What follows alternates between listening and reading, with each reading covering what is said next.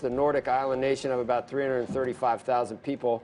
Uh, this isn't actually new, but it's been a while. It has extensive genetic operations that generated some of the biggest breakthroughs uh, in our understanding of disease. A lot of, uh, uh how do you say homogen? Uh, it's, it's homogenous, a lot of the population there, right, Megan? And uh, joining us from Reykjavik. Also, I've heard That's... Iceland is Iceland is like green and Greenland is like ice. So yeah, it is a beautiful place, Vikings. right?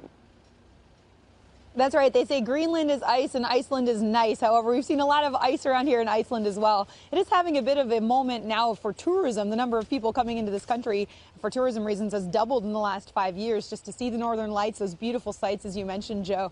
What people may not know is that it really is a hub of important genetics research. And that's because, as you pointed out, it is a fairly homogenous population, something known as the founder effect, meaning a lot of the population here descended from common ancestors. And this population has remained relatively isolated over more than a thousand years. Another thing that makes it great for doing genetic research is the geneal genealogical records here are just incredible. We visited the National Archives and got to see the world's first complete census, which was taken in the 1700s. And the records go back way farther than that, back to the 800s. Beyond that, they have great medical records. Those things all combined make it a great place to do genetics research. We talked with Kari Stefansson, the CEO of Decode Research, which was founded in 1996 in order to mine this data. Here's why he said Iceland is so great for this.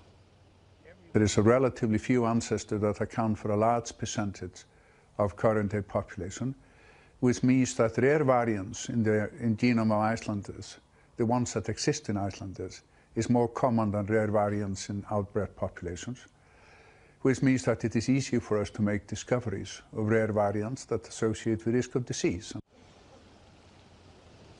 So Decode has made discoveries in things like Alzheimer's and cardiovascular disease, sometimes not even things that lead to disease, but things that protect people from disease. Really fascinating research. And they've got a blood bank in their headquarters of 500,000 blood samples from half the population of Iceland.